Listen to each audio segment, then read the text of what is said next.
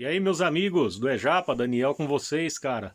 E esse vídeo aqui é para falar de corona. Falei que não ia mais fazer vídeo sobre isso, mas não adianta, né? A gente tem que fazer. Bom, é só para vocês entenderem, é, aqui na minha região consta que não tem ninguém com corona, né? Pelo menos nos mapas, no, nas coisas que falam, não tem ninguém. Tá todo mundo bem de, de saúde e sem coronavírus, sem sintomas, né? O problema é que a gente tem ouvido aí bastante falar que tem gente com sintomas. E a gente ouve falar aqui, ouve falar ali, né? A gente sabe que, que tá tendo alguma coisa e ninguém fala o que é.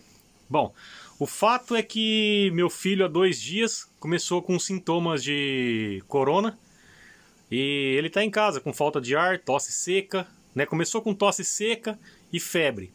E agora deu uma progredida e tá com falta de ar, tudo. E a gente foi no. ligou no, no hospital, o hospital não pode atender. Aí ligou no Roquem Senta, né, para se informar, eles passaram o número certinho do atendimento sobre corona. A gente atendeu, eles pediram para levar no hospital para fazer é, as coisas todas. E a gente foi lá agora no hospital, aqui no Rotaka Biwin, e chegou lá porque ele tá com febre é, e tá com sintomas. O médico se negou a atender, porque ele falou que ele não vai atender não. Tá com febre, tem sintomas de corona, então ele não quer atender.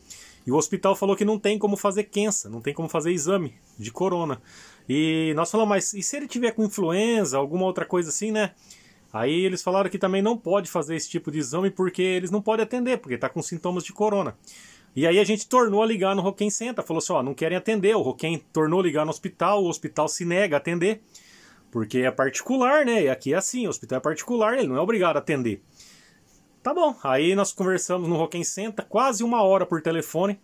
E eles disseram assim que na verdade tem muito caso, tem bastante caso aqui na região e os médicos estão com medo de atender. Então, cara, eu não sei para que que esses cagão tiraram o diploma, cara. Nós até falamos para eles, pô, vocês não têm vergonha de tirar um diploma de medicina e não ter coragem de atender um paciente? Então, tudo bem, cara, o que é deles está guardado. A verdade é que eu tô sabendo que em Gifo, em Xiga, em Haiti e em Guma já está acontecendo a mesma coisa. Então, gente, abre teu olho, cara. Esse país aqui tá cagado de corona, tá cagado de doença e esse governo tá escondendo, cara. Esses numerinhos aí de mil e pouquinho, dois mil casos, é tudo conversa. A mulher do Roquem Senta falou pra gente que tem muita gente aqui com sintomas.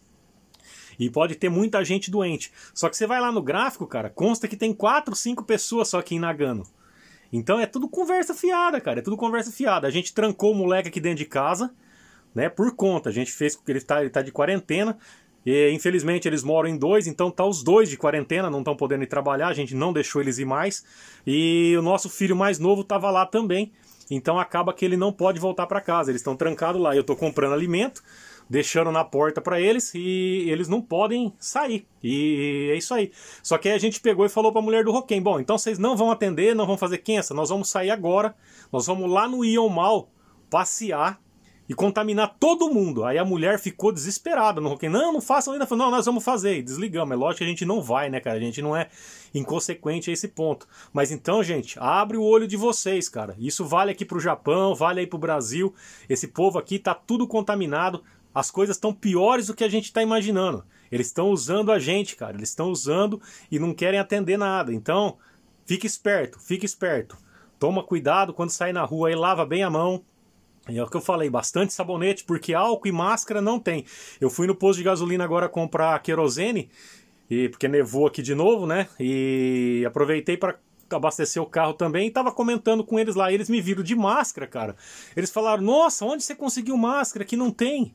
É, não tem nem máscara nem álcool para vender mais no Japão, né? Isso aqui eu tenho, que é a gente compra, isso aqui a gente já tinha. Eu acho que tem. Deixa eu ver quantos tem nesse pacotinho ainda, hein, amor? Deixa eu ver. Passa para mim aí, aí que tá em cima da na mesa. A gente tem ainda um pacotinho, ó, com 12, que ainda tem. É, que é já de antigo, não é de agora. E tenho mais um pacote, acho que com 50 e mais uma outra com 40, que a gente tinha, que é máscara, essa aqui é pequena para minha esposa. Tem a média e a máscara grande, né? Com o moleque na escola, e eu também eu uso por causa do pólen é, do Cafunchô, então eu sempre tenho máscara, então por isso que eu tenho, mas o cara do posto falou, a gente não tem máscara para trabalhar, então cara, a coisa tá desandada, lá na fábrica onde eu trabalho a gente não pode trabalhar sem máscara, e a fábrica também não sabe mais o que vai fazer, porque não encontra máscara para fornecer pra gente, cara, tá para acabar as máscaras lá. Mas é isso aí, gente. Eu vou fazer mais vídeos ao vivo aqui e vai subindo pro canal. Eu vou ver se eu subo todo dia vídeo. Valeu que tá por aqui. Gente, não se preocupa, vocês que gostam da gente, cara. É normal. É... Sintomas de corona qualquer um pode ter, cara. Agora a gente não sabe se é gripe, se é influenza, se é friagem que ele pegou, dor de garganta. A gente não sabe, não tem como fazer exame. Então ele tá ali dentro de quarentena e vamos torcer para que não seja nada. Mas esse vídeo é só para alertar vocês. Um grande abraço, fui!